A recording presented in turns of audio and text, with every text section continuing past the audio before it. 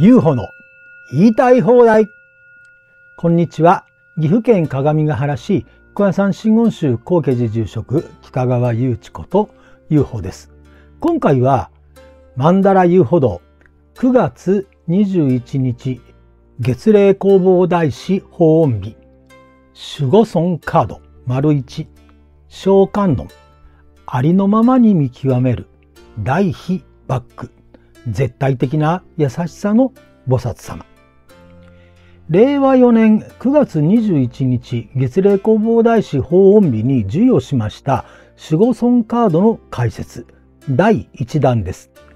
19から36番までの数字を思い浮かべていただき、19番と28番を思い浮かべていただいた方のものです。19番の方、ありのままに見る。28番の方、来非バック。召喚論、聖とも正しいとも書きますが、一般的には聖と書きます。観音様といっても、千手観音、十一面観音、如意輪観音、馬頭観音など、いろいろおられますが、それらは変化観音と言います。その変化観音が変身される前の姿、すべての観音様の元々のお姿が小観音様です。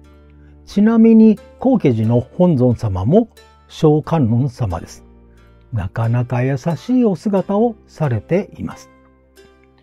小観音様の別名は小漢字財菩薩。般若心経の漢字財菩薩とはまさにこの菩薩様のことです。般若心経では自分自身を含め世の中をありのままに観察し見極められそれによって執着するものは何もないということを明らかにされています。だからこそ思うようにならない世俗の世界に溺れる者に手を差し伸べられる。それが小観音様です。まさに大悲が人の姿で現れた存在と言えます。大悲とは他者の苦しみや痛みを他人事のように思わない楽器優しい心。トゲが刺さっていれば抜かなければならないし、痛みがあれば和らげねばなりません。召喚論様は様々な姿に変化して苦しみもだえるものを救ってくださいます。ただ、その方法は様々ですし、人が考えるような浅いものではありません。小さな苦しみは他者をいたわる心を育てることがよくあります。そのために小観音様の救いは目先の小さな苦しみから救うことよりも大きな悲しみや大きな苦しみから救うことを大切にされておられます。人は傷つき、悲しみ、苦しんだ時こそとても大切な機会。傷ついた瞬間に、悲しんだ瞬間に、苦しんだ瞬間に今まで背負ってきた重荷が一つずつ消えている瞬間でもあるからです。一方で精神作用も自分自身も含めて世の中にあるものは全て流れがあるだけで固定的に実在するものは何もない。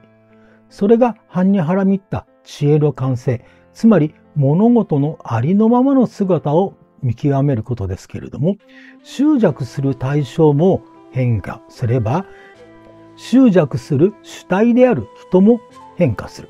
しかも人は肉体も精神も変化する。つまり執着するものも執着されるものも変化するわけなので執着すること自体が本来ないもの。それをあたかも実体があるかのように執着しているのが煩悩に他なりません。だからこそ執着という新たな重荷の種を植えてはならないんですね。重荷が消えていると心から喜び、真の喜びを植えていくことが大切。召喚論、召喚自在菩薩は物事を見極め、執着するものはなく、ただ変化がある。だからこそ、あなた自身もまた本来正常な存在であり、だからこそすでに救われているのだということを伝えておられるようです。大いなる命に深く感謝してみると、その境地が広がっていくのではないでしょうか。19番の方は、ありのままに見るが表であり、大非バックが裏。28番の方は、大非バックが表であり、ありのままに見極めるが裏。表も裏も大切なんですけれども、ありのままに見極めるから、大悲抜苦につながり。まあ、これが19番の方ですね。28番の方は、大悲抜苦の思いがありのままに物事を見極めようとさせるというところです。さて、この聖観音様、サンスクリット名は、アーリアバローキテイシュバーラ。別名は聖観自在、混合法、混合源、妙言混合、消防混合、本上混合、蓮華混合とも言います。真言は、オンアローリクスラーハー、オンアロリキャソワカ。主事は、さ、または、キリク。三枚お行は、諸葛蓮華、または蓮華。この頭の先がね、ポッとこう開いた蓮華のことですね。乗り物はクジャク。これは阿弥陀如来と同じで、毒変じて薬となすという意味があります。愛欲は執着を生む煩悩ですけれども、その本質は他者をいたわる大悲に基づいているもの。まさに毒変じて薬です。方角は西、西北、南。